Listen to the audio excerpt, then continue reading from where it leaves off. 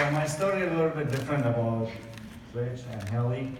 They run for marathon, but I believe I run for marathon for my life.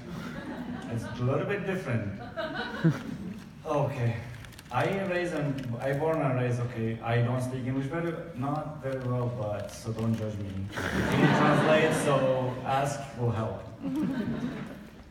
My story start. I raised. I born and raised in very nice family in Middle East in Syria, and was my dad really was busy nice. So it was four kids, boys and four girls. So it was really big family.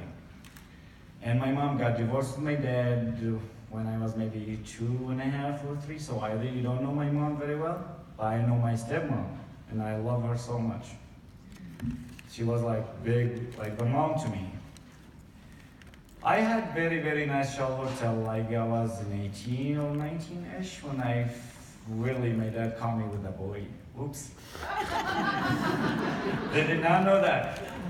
I did not see this coming. so what happened that night when my dad caught me uh, was really awful.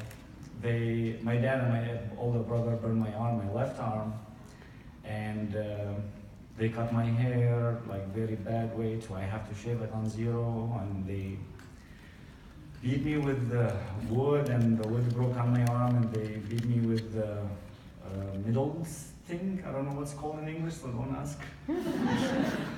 and it really was a rough day. And I was in the moment when I was beaten up and getting all this feeling at the same time, I felt like I was wrong what I did. But at the same time, like I feel it's me, but I don't know what I am yet. Kind of confusing.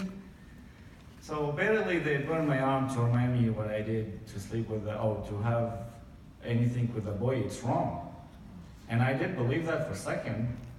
But turned out, well, it's not working because I have a fiance now. it's really not person that gave me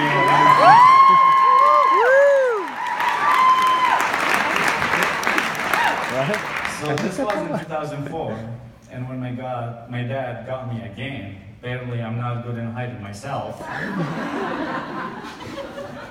so I, the second time my dad saw me was